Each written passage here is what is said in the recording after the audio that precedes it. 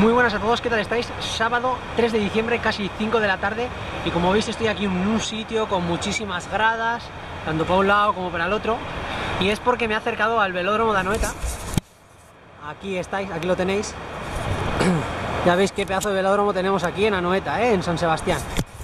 Pues eso, este velódromo está a 25 kilómetros de donde yo vivo, de Asteasu, está en Donosti, eh, junto al estadio de fútbol de la Real Sociedad de, de Anoeta.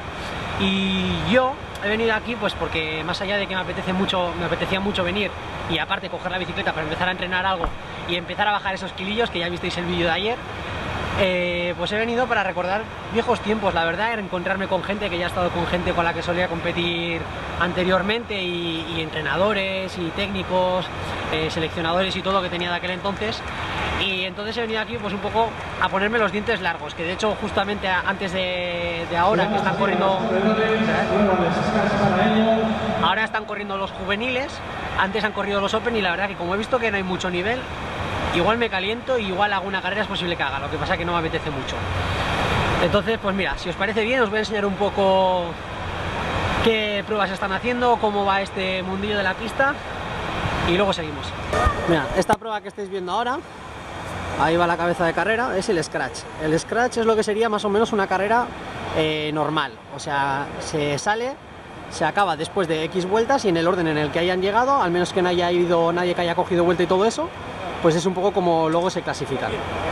Entonces ya veis ahí el contador, pone que quedan 13 vueltas, pues una vez queden 13 vueltas, a falta de una tocarán la campana y en ese sprint, pues como el que llegue primero es el que gana.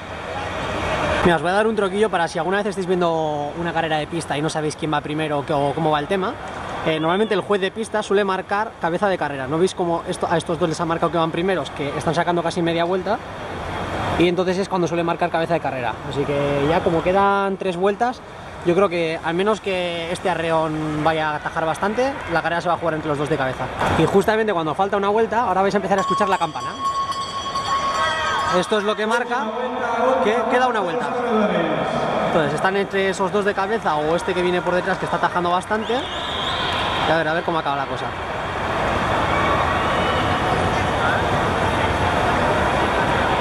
Uh, el que iba por detrás eh, ya ha reventado. Pues va a ganar este de Asturias, de la selección asturiana, segundo uno del equipo de Donosti Berry y luego hay un sprint apretado entre el tercero, el cuarto y el quinto. Mira, y como se me va a hacer de noche, lo que vamos a hacer es, eh, yo voy tirando para casa y una vez llegue a casa os explico eh, las diferentes pruebas que hay y en qué consisten, ¿vale? Así que yo me voy para casa y ahora nos vemos. Vale, pues ya nos vamos del velódromo y, ostras, acabo de flipar porque claro, cuando estaba el sol y todo eso, eh, yo estaba diciendo, ostras, igual me he pasado eh, abrigándome y tal y cual, pero es que acabo de salir del velódromo y hace un fresco de cojones, chaval. Y ya estoy en casa. Madre mía, hoy con el vídeo eh, son las 8 y 16 y yo creo que se nos va a echar el tiempo encima mucho no lo siguiente, que hasta que acabe este vídeo yo creo que hasta que lo acabe, lo suba, se publique y tal y cual, van a dar las 1500. Por lo cual, mira, eh, os había comentado que, que, os iba a hablar sobre cada una de las pruebas más en detalle, pues eh, que hay eliminación, hay danesa, hay puntuación. Pero creo que es un vídeo que si me pongo a explicarlo así ahora, digamos, del tirón, eh, va a quedar un vídeo un poco largo y al final también, pues como tampoco tengo el mejor internet del mundo en esta casa, pues va a tardar en subirse el vídeo y lo veo complicado. Por lo cual, vamos a hacer una cosa. Vamos a dejar aquí el vídeo, pero me comprometo a que otro día iré a pista y grabaré más y os explicaré en detalle cada una de las pruebas, en qué consisten, cómo es, e incluso también aprovecharé, que ya vi que os gustó mucho el vídeo, aprovecharé para hablaros de, de cuando andaba en pista, pues alguna batallita y todo eso, porque mira, sin ir más lejos, o sea, yo eh, los mejores resultados siempre los he conseguido en pista. Y, mira, fijaros, esto de aquí, esto de aquí, tan, tan, tan, tan, tan, tan, tan, es la medalla de plata del Campeonato de España que conseguí en el 2000... No sé si lo pondrá aquí. No, no lo pone.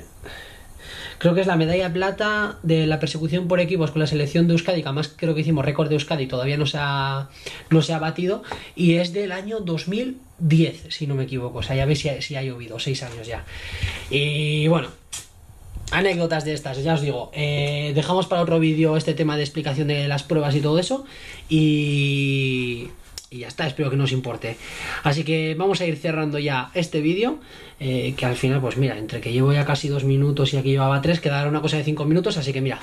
Señores, muchas gracias por estar ahí, nos vemos en el próximo vídeo y mientras tanto, a disfrutar chavales.